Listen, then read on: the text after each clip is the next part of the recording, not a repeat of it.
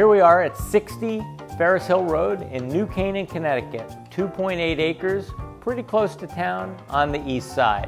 Christa, what do you love about this house? There are many things that I love about this house. One being that it is 2.8 acres, but buffered with privacy on both sides. On one side of the property are land trust lots, and behind the house is another full acre between you and your next door neighbors.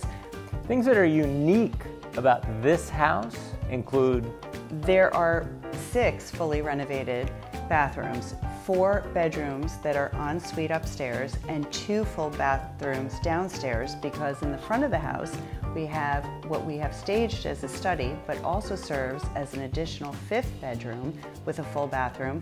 And towards the back of the house, we have a huge party bonus room with a vaulted ceiling and a brand new wet bar and sliding doors that go out to the patio and the pool. In the family room, they've done a really good job of keeping some of the vintage details.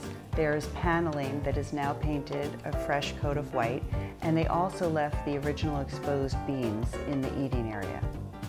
I dig the balconies. We haven't even talked about the balconies. Front of the house, you got a balcony, New Orleans style. Big balcony. Bring all your friends.